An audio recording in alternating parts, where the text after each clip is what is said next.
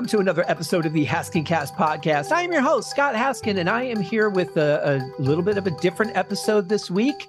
Uh, we're going to review an episode of Three's Company, and with me is my very common returning guest, basically a co host at this point, John Mottola. John, how are you?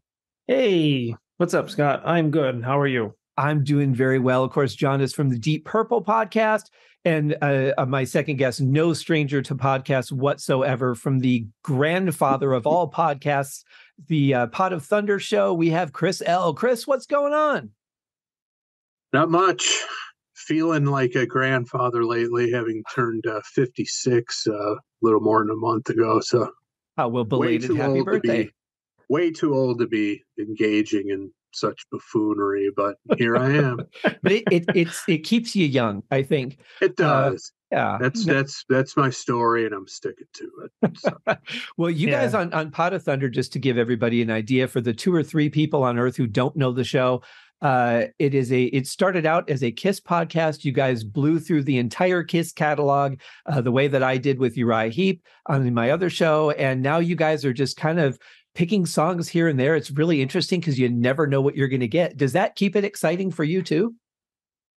Yeah, I think so. I, I think, um, yeah, after 290 episodes about Kiss and uh, how many, however many years that was, six and a half or something like that, you get a little uh, burnt out on it. So it's good to get the the, the variety um, and ideally cast a wider net so you're reaching out to fan bases of other bands and stuff. But but yeah, we're we're all into uh, into the variety of it that it, it that presents us because like I said by the by the end of the run we were all we kind of had it with Kiss, to be honest with you.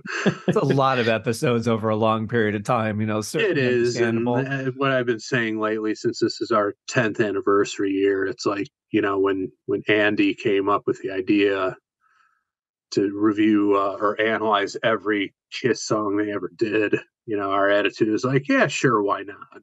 You know, thinking that we'd do five episodes, we get bored with it, realize nobody was listening so yeah, why not shoot for the moon like that? And uh, ended up uh, drawing in some people who liked the show, and we we followed through with it. So excellent. Well, I'm glad it worked out for you guys. It's an excellent podcast. I've listened to uh, a number of episodes myself. And of course, another show I'm no stranger to is the Deep Purple podcast. Been a guest on that one a few times. John, how are things going in the Deep Purple camp? It's uh, it's about to get really exciting for you next month. Yeah, yeah. Um, heading out with um, my uh, co-host and um, Hall of Famer Rich to uh, see two Deep Purple shows in um, um, I think Philly and uh, somewhere in Jersey. So. Right. And yeah, Rich... and and again, um, it, it, seems to be a tradition. Last year, we went to uh, we went down to um, uh, down to Fort Lauderdale and then uh, St. Pete's. It was on my birthday, and one of the shows is going to be on my birthday again next month. So it's like it's, they uh. Yeah, we were just like, yeah, let's go to the uh, let's start the tradition of seeing Deep Purple on John's birthday. I'm like, hey, I'm not going to complain. So it's, it's, a great gift, and uh, of course, you got yeah. to uh, to hang out with with Roger last time and Ian Paice, which is uh, just amazing. And uh, I I don't know what'll air first, but I was recently a guest on a back to back episode of the Deep Purple podcast. Very excited to uh, to hear that air talking mm. about. Well, I can't talk, I can't say what it is. I won't say what it is because I don't know if this will air first or not. and I like the excitement of having no idea what's going to show up in my uh, podcast feed on Sunday night. So I uh, I will shut the hell up. But today we're talking about something different. I've done a couple of TV show reviews, but today we're going to talk about season six, episode twenty five of Three's Company, the wonderful show that we all grew up on. This episode is called Up in the Air. It was uh, it aired on May fourth, nineteen eighty two. So we're talking like what 21 years now almost that uh, it's been since it aired written by Shelley Zellman don nicholl and michael ross directed by dave powers. Don't know who any of those people are but of course it stars john ritter joyce dewitt and priscilla barnes. No mr furley in this episode. I was a little disappointed on that. How did you guys uh how do you survive an episode without a mr furley cameo You know, I, never even realized that, that, that, there was no landlord in this episode, so mention it just now. Um, yeah, I just, uh, you know, there, there's a few episodes where some of the characters aren't present, and I think that's true of uh, uh TV shows in general. But yeah, to be honest, I never even realized he wasn't uh, in this show. Mm-hmm. But well, that's yeah. because there's so much other stuff going on, and just such it's such an iconic episode of television, not just for the the show, but for uh, television as a whole. In my hmm. opinion.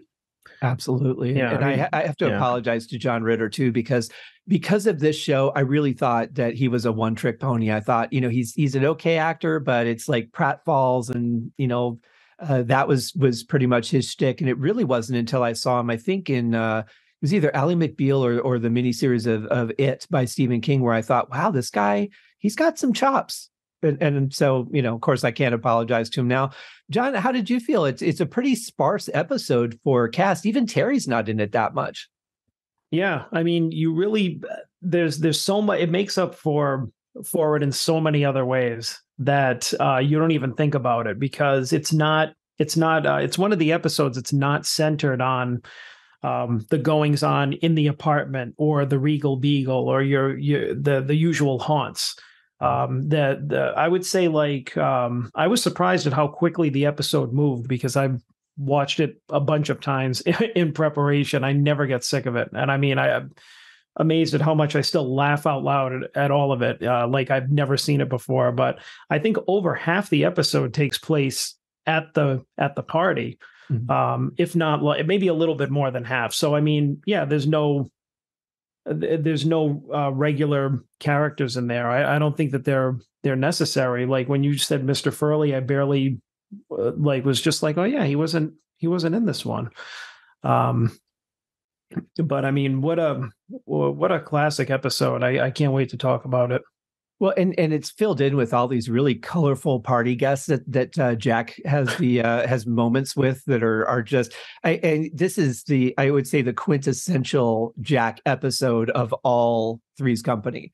Uh, and, and of course, I mean, it's I I don't interact with people a lot these days, so I don't know if this kind of stuff still goes on. But thinking about it as a general theme in Three's Company and some of the other shows back then, it's like people didn't just have conversations and talk about issues. It's plotting and scheming and let me try and you know make this person jealous by making it look like i'm with somebody else. And and it's always over some crazy confusion that none of it ever would have been necessary if they just knew what was really going on in the first place. It, it right. seems to really be the foundation of the show. Uh, would you agree with that chris?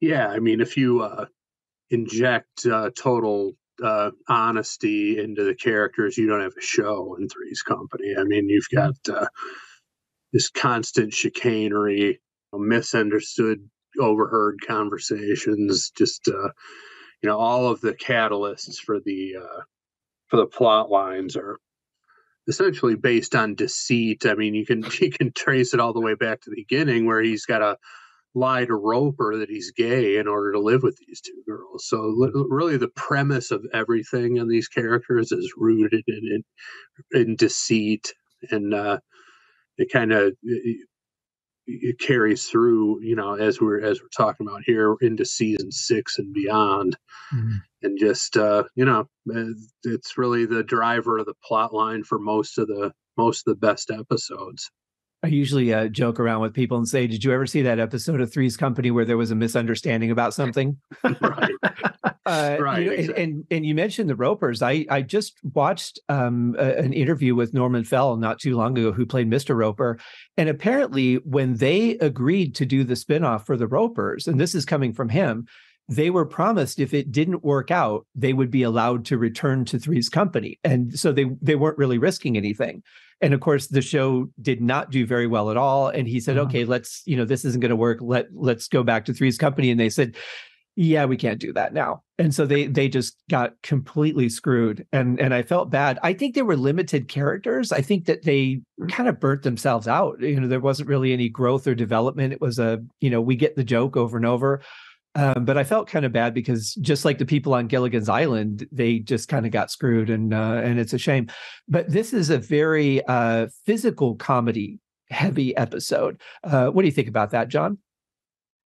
Oh, absolutely. I mean, uh, uh, Chris and I have had a lot of uh, conversations about this episode, um, uh, texting back and forth about it, how how how brilliant it is. Um, I mean, th- there are a lot of uh, crazy physical things that go on and uh, on the the show as a as a whole, but I mean, uh, the the uh, the most of them happens. I think the most classic happens at the at the party. Of course, the big uh, dance sequence, which we'll uh, talk about, and everything surrounding it is just some of the the best stuff that he's done. And um, when I started watching it, like when did we start talking about? Uh, like a few months ago, maybe. And um, I started watching some episodes, and Chris and I would actually swap, like, "Hey, I saw this one today," or "Remember this one?" And um, and after seeing the Up in the Air episode and watching some of the other ones from around that time or even earlier, I was, I've, oh yeah, I remember seeing this one, and the the physical gags and everything were still great. They were still funny, but none of them hit me the way this one did, which is why I think it's such a classic episode um, of slapstick and some of uh, John Ritter's best work. I would agree with that, and you know, it, it's it's interesting. I, I I imagine that there are forums that talk about this, and uh, probably arguments that have ensued, but I I really liked the Terri era of the show. I think by mm. then they were in their they were in their groove. They had defined who they were as characters. The first season was kind of really different because Chrissy was not as dumb as she became by season two. Um, Janet was very kind of frumpy, and then when she changed her hairstyle and seemed to be more confident as a as an actor, um, the first season is really like a whole pilot you know, and then yeah. from there, like season two, it got better. But I really think once Terri joined the cast, I think that was the most cohesive time on the show. Uh, Chris, I see you nodding. Do you do you feel the same? Um, I like all the eras. I think um, you know, tying us back into uh, you know, definitely John's podcast and pro- probably yours as well. I'm not um, familiar, super familiar with Uriah Heep, but I do know that they underwent, you know, personnel changes, and so, so you learn to appreciate the the, the chemistry between, you know, different lineups, so to speak, and um, you know, I like it all. Um, I've even I've I've talked to John about this that over the years I've actually my favorite era is the Cindy era. Mm because I think it's a stroke of genius that they bring in this clumsy, you know, uh, blonde who uh, you know takes the the dumb blonde uh, concept and it translates into a physical thing, and it's strictly uh, most of if not all of it is a catalyst for Ritter's physical comedy, and uh, the fact that they saw that as an opportunity to introduce a character who's mainly there to create situations where John Ritter is able to do his, you know, slapstick uh, physical comedy in pratfalls was just a stroke of genius, in my opinion. Yeah, I, I, have to wonder if at some point it was uh, if if Erica Varga auditioned and Jill Lynn Turner came in and put a stop to it. I think Erica Varga probably inspired the evolution of Janet's look over the years. Uh, her, her, her, evolution from frumpy to uh, pretty hot in the mid mid uh, mid period. I think toward the end, it she got a little uh, you know mom like uh mm-hmm. just to, for lack of a better term but when she had the super short almost spiky hair and was always wearing the the painted on gloria vanderbilts i mean yeah you can tell you can tell how much i paid attention to to her uh, with my description but uh, yes. she was up there. She was on she was on par with the the whatever bombshell she was uh, uh paired up with in any era so I, I do think though that her evolution a, as a character uh, was probably the most realistic. I don't, you know, Jack had his like points where all of a sudden he's a little more mature, uh, especially towards the end when Vicky came along before their spinoff. But I, I think as a progression, his character didn't really grow a lot. He just did different things, but he was still that same guy. Whereas Janet, I kind of feel like she learned and matured and got older um, but she was in like the people that you're around influence you into still being kind of a you know a, a mm-hmm. little bit of a, a, youthful person. Um, John, how did you feel like the overall progression of the show with the different uh, lineups? I mean, I I don't know if this is like a hot take or not, but I mean, I think that the the Terri era is probably uh, one of my favorites. Um, I mean, uh, I I uh, to Chris's point, I um, like I, I get if you're talking about different eras of lineups of bands, you could you have your favorite, but you can find something that you like in each one. Right. Uh, those early episodes with uh, with um, with Chrissy were a classic, and the Ropers, and they were great. But I find um, that when they switched up to uh, Don Knotts as the landlord, Mister Furley, and then they got in um, they got in Terri as another roommate, and they made the the landlord is it kind of still had this uh, kind of um, bumbling comedic uh, type of thing, but in a different way than the Ropers did.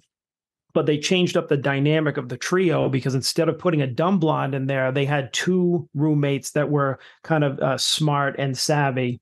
Mm-hmm. Um, instead of having like this Janet, who was the more sensible one, and then Chrissy, who was like the the dumb one and then Jack. Like I I kind of liked that dynamic between all of them. For some reason, like you know, Terri being a little more uh, kind of street smart and savvy worked for some reason. And and you would think it wouldn't because they're just like, well, I got to replace one dumb character with another one. Mm-hmm. And they did that with Cindy, which was uh was definitely different than what they did with Chrissy because she was always beating the shit out of Jack by accident.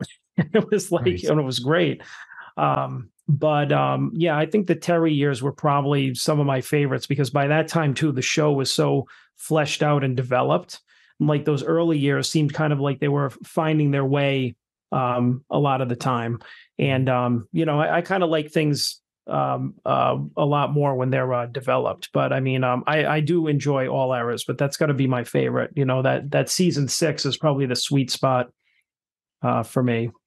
Yeah, I, I feel like it came together for me in a lot of ways too. Uh, for this episode, though, up in the air, the uh, the synopsis is that Jack escorts Janet to a dull private party, and I could argue with that because I don't think that party was dull at all.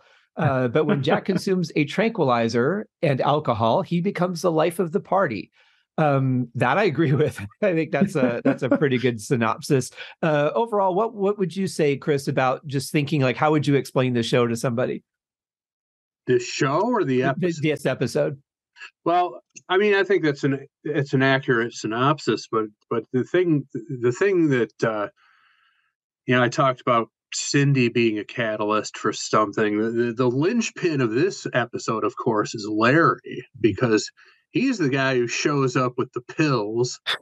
You know, we've all we've all had that friend who's like, "Yeah, I got something for you," and you know, whips out a uh, a prescription bottle and who knows what's in it, but you're just like, yeah, I'll try one of those. Why not? You know, and and again, it's and Larry is another a constant character who uh, you know was present throughout the entire run. One of the most underrated characters in TV history, yeah. and um, he's really the one who sets this sets off this whole thing. You know, he's just and and who wouldn't expect Larry to be the guy with the pills when Jack is like, yeah, I gotta get on this puddle jumper and I'm nervous about it. And and of course they both uh, ignore Terri's uh, advice or warning not to take medication that isn't prescribed to you. Of course, she is a legitimate medical professional and Jack and Larry listen to her spiel and then just proceed to c- completely ignore it. And uh, you know, the, the scene where J- Larry's on his way out of the apartment and just flips Jack the bottle, and uh, and then they're off to the races at that point. But uh, mm-hmm. you know, this is as much a Larry episode as uh, as uh, as anything else because he's he sets the whole thing in motion. I mean, you, you, could all, yeah. you, you could even equate it to say full metal jacket where the first half of it is so different from the second half but yeah. it's the first half that sets everything in motion that happens in the second half. And uh you know you, you got to tip your hat to richard kline and and the larry character here because uh it, it's really he's the guy who gets everything started in this one as he has on so many episodes just been the pivotal point you know? But but you know i was just thinking about it as you were saying that and it, it dawned on me um, there's a, a show uh, a channel on youtube that i absolutely love called zach morris is trash and it just basically goes through all these different episodes of saved by the bell and it shows you know the the problem is not Zach. The problem is that people keep trusting him every time he says he wants to. Like, how dumb can you be? And I have to think after all the things that Larry has done over the first, you know, almost six full seasons, why would Jack take a pill from him and go, I'm sure Larry's right this time? I'm sure, you know, you have to have that to get the episode, but there's that outside part of me that goes, dude, come on. Like, really, would you trust this guy after everything he's done to you? You know, what do you think, John? I mean, I I think that um, the the the whole show you have to suspend your disbelief about everything mm-hmm. because um because I, I have been thinking about it uh, quite a bit um since I started getting back into the show and like not a lot of stuff makes sense like what I mean one of the f- most fun things is going through a lot of the uh kind of uh things that don't make sense like the the the um, the, the the plot holes that are just like why would like why would this happen? Uh, mm-hmm. like for like why would why would Jack listen to anything that Larry says right? Why wouldn't he listen to Terri who is like a, who is a registered nurse telling him not to take medication? Um, why why would Janet be interested in that? First of all how does this guy um, what was his name? Philip? Philip I think yeah. Yeah why why would like Philip, like this guy that's got enough money to have a private island, like walk into her flower shop, see her working in a floral shop, and assume that she's rich enough to to come to this party and be with him, and then ask you uh, ask her to bring a date and then she's dumb enough to be like, well, I really like him, but he's like wants me to bring a date, so obviously he's taken, but I'm going to go anyways because I because I really like him. Like, how, how does that make any sense, like whatsoever in the real world? If somebody said that to me, I'd be like, screw you, I'm not coming to your party. That's that's an excellent point. and and I'll say. Uh, a few years ago, the the first time that I had the pleasure of going to the NAMM show in Anaheim, I was at my hotel. I woke up early and I just flipped the TV on, and Gilligan's Island was on. And I hadn't yeah. seen an episode of Gilligan's Island in probably 20 years. And I thought, oh, this will be fun, you know. So I'm like five minutes in, I thought, what the hell did I ever find entertaining about this show? I can't, I mean, it's so bad, but I can go back and watch an episode of Three's Company, even with all that, yeah. and still just be completely entertained. It's when I'm done watching the show and I start thinking about things a little too much that I'm like, okay, now I'm going to break it down in my head and be, you know, that that overthinker that I don't need to be. I just need to shut myself off, get in the boat, take the journey, and enjoy it.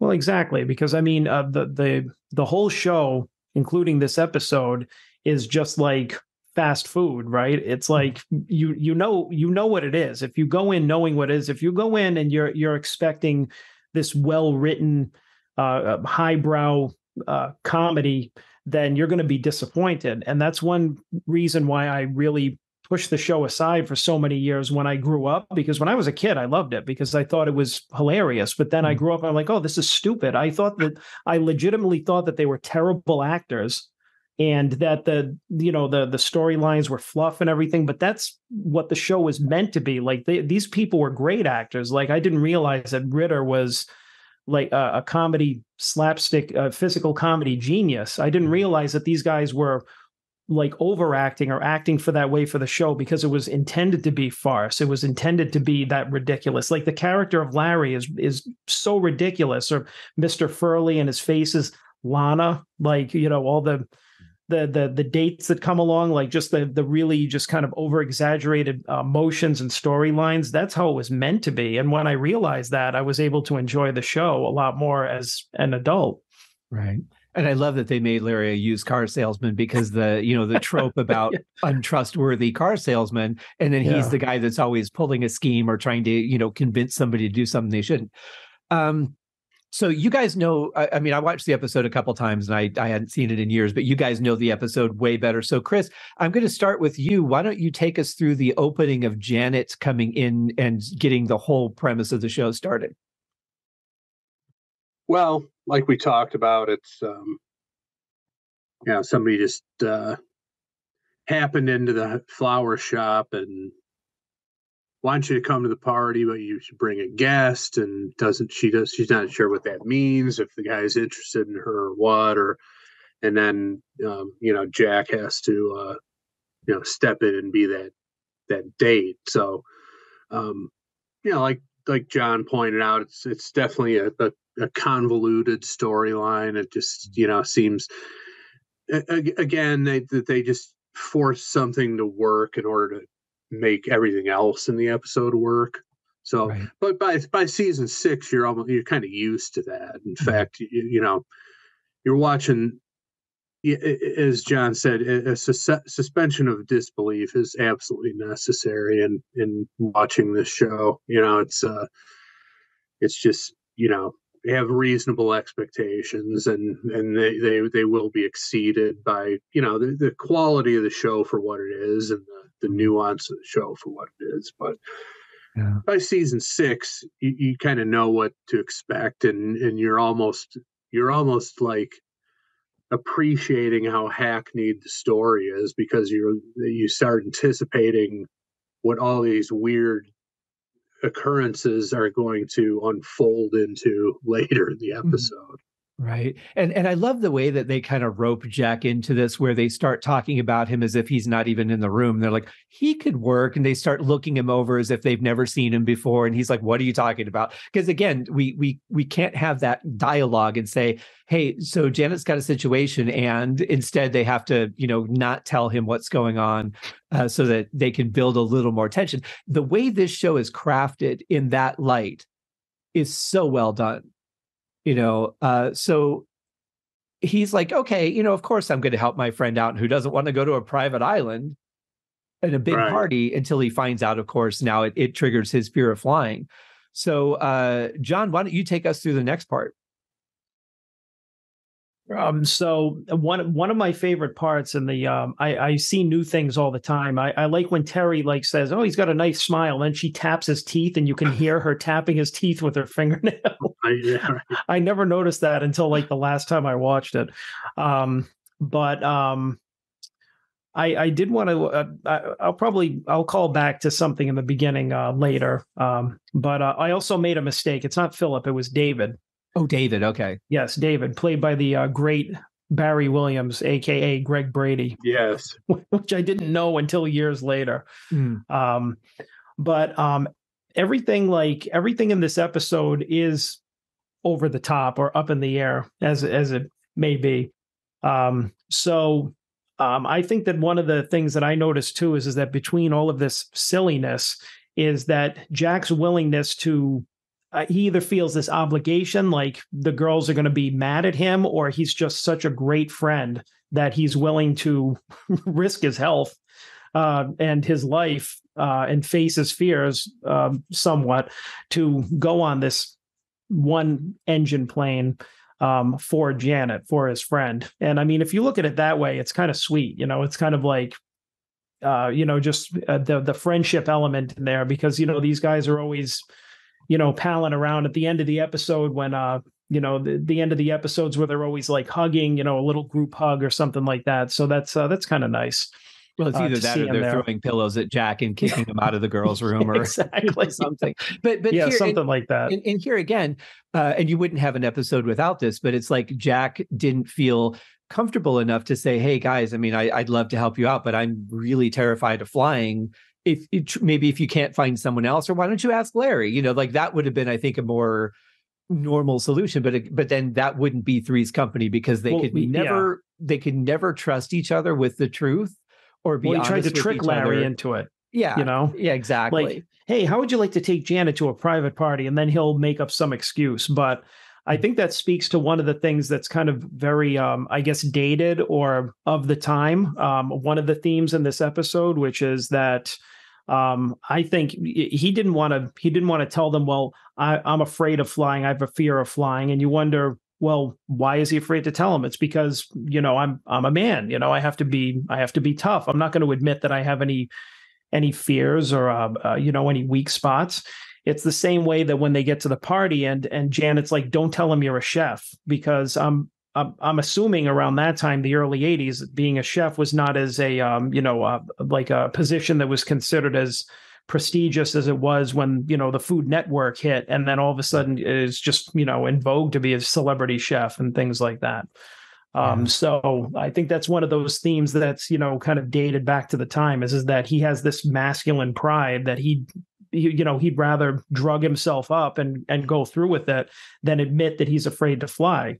So you know Larry decides that he's going to play psychiatrist here, and he's like, all right, we're going to do a little we're going to do a little role play here or whatever, and you know takes him up into the you know shows him what a plane is like by sitting him in the chair and you know rocking it around and everything like that, which is a you know, a, a, cool little gag until he realizes he's in the air and then he lunges out of the chair and kicks it. And, mm-hmm. um, you know, that's when he, he realizes like, okay, he's not, you know, he's not going to do this. And he's like, well, I guess you're not cured. And I'm like, yeah, no, not two minutes, Larry, come on and that and that scene actually reminded me uh, on uh, Family Ties when they were teaching Tina Yothers how to drive, and they set the kitchen chairs out in the in the kitchen, and she's in the front, and you know her father's just everything he's just yelling at her, you know, because of course he's he's saying animal, and and she's not she doesn't see that they're in the kitchen, you know. Uh, but you know, you you really bring up a good point because there there was a huge level of machoism in television mm-hmm. back then. Do you what do you recall, Chris? I, I, mean, thinking of other shows too, it's it's like you weren't allowed to as a man, you weren't supposed to show emotion. You were supposed to be the problem solver, uh, the guy that came in and saved the girl no matter what. Uh, do I have did, am I thinking wrong about that time? Um, no, I don't think so. I mean, I was uh yeah, I remember watching Three's Company in real time when it came out. If I recall correctly, it was on Tuesday nights on ABC at 9 p.m. Eastern time. And, um, oh. you know, around that time, there were also a lot of, uh, a lot of cop shows on. Like of the time, I was I would remember CHiPs and SWAT and uh, the Rookies and all this kind of stuff. Um, and um, yeah, in addition to the other sitcoms, but yeah, I just think you know, in the at the tail end of the uh, disco era and moving into the '80s, it was you know definitely a lot of uh, jungle maleness, for lack of a better term, that the term that we use often on the show. Uh, just uh, yeah, there wasn't wasn't wasn't a lot of sensitive guys being portrayed on uh, on television, and and that was one of the. I mean uh, offhand, I can't. I mean, even though it was a ruse, I can't think of any uh, show that really had a predominantly uh, or overtly gay character. Um, even around that time, like I said, yeah. even though it was all a facade, you know, it was definitely a uh, a, uh, a significant element of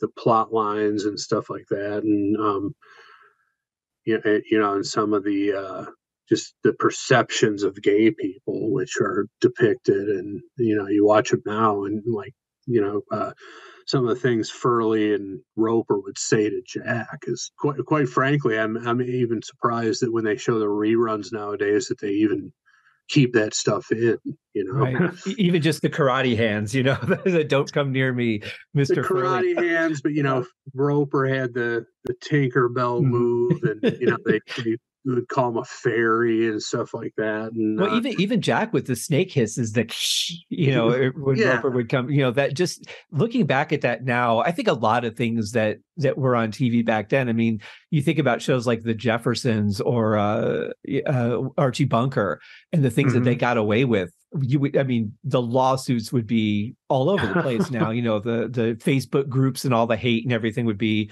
just insane. But it was a different time back then and mm-hmm. even even though you had some strong female mom characters we didn't have a lot of strong female like characters that could be emotional but also had that strength. And the only one i could really think of would be loretta swit on mash.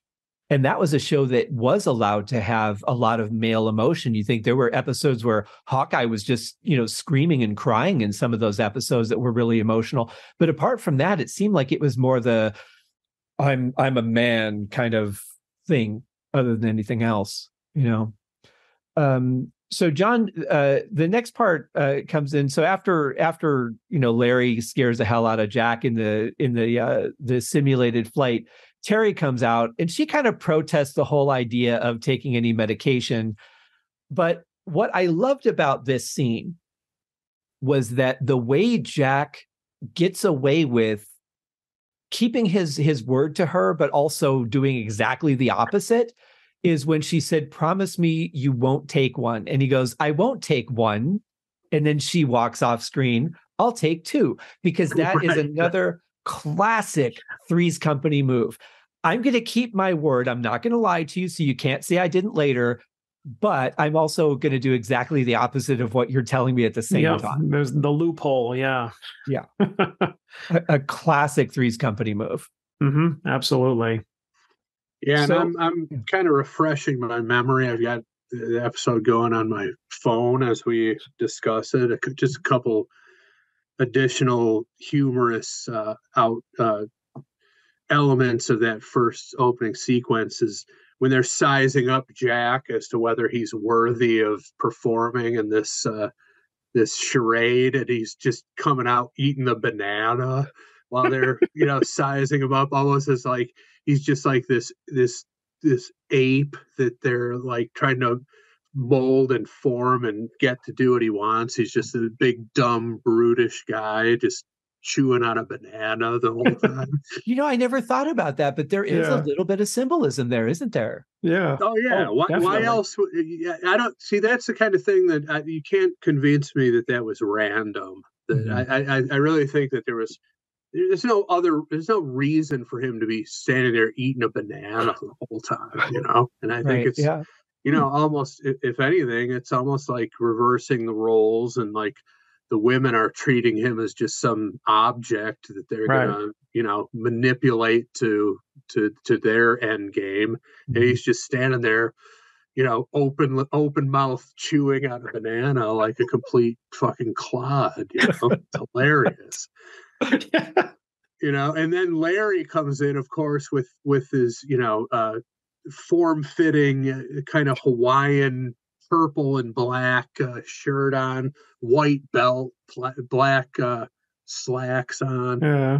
I tell you, the, the Larry Dallas character is might be the most underrated character in all of sitcom history. You know, I mean, people people talk a lot about uh, Herb Tarlek from WKRP because they went out of their way to dress him in ways that were completely obtuse. But I kind of think they did the same thing to Larry. It just was never pointed out. Whereas on WKRP, they actually used that in the show for some of the dialogue. But uh, on Three's Company, I mean, the, the style of clothing was really questionable back then anyway. But I think that they kind of just went out of their way to dress Larry up in some very tight jeans sometimes oh, and yeah. some really wild shirts. Oh yeah, I mean, I, I think they did it with. I, well, I mean, I know they did it with all the characters. Obviously, they did it with uh, with Chrissy to kind of boost her sex appeal and you know mm-hmm. show her sex appeal. But in the ways that they do it more subtly, there was another episode which um, I think, like when I was in the the middle of uh, th- this kind of marathon of Three's Company, I texted you about it, Chris. The one where Jack goes to the dentist office. Oh yeah and it was um it was was it Ter- it was Terri's boyfriend, right? And she wanted to break up with him. Yeah. Um, but um, at that point, she's like, Jack had had a cavity and he wanted to go to the dentist. She goes, "Oh, go to this this guy that I'm seeing, and he's great." But he winds up being a children's dentist, and he doesn't know it until he gets there. But when Jack walks in, he's almost dressed up like a big child because he has on these shorts that are so short like I mean, they're like a like a two inch inseam or something. They could like they're like nut huggers. They're like way up here. And he's like yeah. he sits down on this little rocking horse with his knees like up, you know, almost yeah. up to his shoulders. And it's like mm-hmm. you can't tell me that they didn't dress him like that in that scene on purpose to look more childlike. Oh yeah, um, yeah. Was that Jeffrey so, Tambor? That yeah, yeah. dentist? Yeah. yeah, with with a really bad rug. Um, in that episode if I can remember. But um, but I mean, I definitely think that a lot from from things as like I think obvious as that to things like we were talking about uh, with Larry, kind of dressing it because he's also the womanizer too. So they dressed him up really tight clothes, like low midriff shirts, like uh, you know, is the you know unbuttoned to the navel with his chest hair hanging out and everything, like really like like sleazy, like the the silk robes that he wore when he was trying to seduce women. Yeah, you know, always always, always is rocking some sort of gold necklace. Uh, yeah, possible, sometimes two or three layered yeah. up. Yeah, I mean, definitely on purpose. I always Definitely figured he had like a, a round bed that had the remote control where you could just, you know, start it turning with the mirrors Yeah. over the top. Yeah, Uh, Jeffrey Tambor, man, there's another just really superb actor who just has the ability to jump in and, and fill wherever he's needed. He was on a couple episodes of a show called The Practice, which was a, a legal show uh, set Mhm. in Boston. And man, he played a loan shark. It was the only time I've ever seen him play like a dark, evil character. And he was good. He was every bit as good as that as he was in comedy. Um, so if I'm not mistaken, uh, after the scene with Terri, the next scene is is Janet and Jack entering the party. Is that right? yep. Okay. Yep, they they cut uh cut to commercial and then the next thing they do is um you see the the opulent party happening. Yeah, Doorbell rings, maid goes up, opens it up, and then there they are. Jack not and just Janet. not just a maid. This is the the classic Halloween costume, you know, tr- uh, trope of of what a maid would look like. and right. probably was I mean, back in that time. But what what gets me is that Janet, and, and again, suspension of belief, but you know, looking at it from the intellectual side, the whole way from the plane into the house, and I'm assuming that they landed at the house. Um, Janet is just starting to understand that something's wrong with Jack, where he had to have had that tranquilizer a while ago, and yeah. he's probably been a little bit loopy at some point but maybe she's just been really focused on you know maybe she's nervous about meeting this guy or whatever but it that, those are points where i feel like things get a little bit forced because i'm sure she would have had to have noticed he was slurring his speech or just something wasn't Yeah. right about him you know Well, I mean, there's again, it's this is Three's Company, and especially this episode is is is is the perfect vehicle for you to turn your brain off and not uh, like take your the critical thinking lobe of your brain. Take a break. I'm watching Three's Company right now. Exactly. Um, you know, f- another thing is uh, Jack's rolling into this party in a tuxedo. Does he own a tuxedo, or he, was able to rush out and rent tuxedo? I mean, it, this this party happened this essentially the same day as all this was going on, right? Or it I, I, no, I, no, I think it was the. She said it was this weekend, so I don't know how close Okay. the weekend was, but he might have had like a, a couple of days, maybe. I mean, if you if we're looking at it that way, but speaking as Yeah, but- someone who has rented a tux in los angeles i can say it is not always easy to get them that quick well, and the other thing is, you know, keep in mind that this is a guy who had trouble month after month cobbling together a hundred dollars to pay his damn rent. You know, That's he's true. a guy like that. A doesn't own a tuxedo, so you can pretty much safely uh, assume that he's renting it, and uh, you you would have to assume that you know he he got probably got Janet to pay for it since she was always gainfully employed and he wasn't, and uh, mhm. but you know that that's the other thing is just he he comes b- bounding it well not bounding he just kind of kind of slinks into this party and you realize it's uh that's when you realize that it's, it really is this this highfalutin party because she's got this uh you know kind of unfortunate off the shoulder prom dress you know this powder blue thing. And then he's rocking a tuxedo. And then you know again that's that's when you know that your critical thinking starts to kick in and that's when you just gotta you gotta put it at bay and just be take it at face value. Right. I, I will say, uh, in general, I think they did a good, a, a really good job with wardrobe on the show. But whoever picked that dress for Janet, I, I have to seriously disagree with that. A cocktail dress would have been better. Um, maybe just something simple and black. But that dress was, it was just too poofy in the sleeves. It looked incredibly uncomfortable. I don't know any man, even in the '70s or, or early '80s, that would have been like, "Wow, I want her." yeah wearing that thing, you know. Uh, this this party, though, I have to say, to me, was so well done from from the time they walk in to the time it they flash back to the apartment at the end. this is choreographed like a Cirque du Soleil show. I mean, it was so beautifully done. I don't know if they had uh, episodic uh, awards back then, but I would have certainly put this one up for vote if there was anything. Um, you guys are are really familiar with this, so I'm just kind of going to let you guys um, jump in and, and walk through it.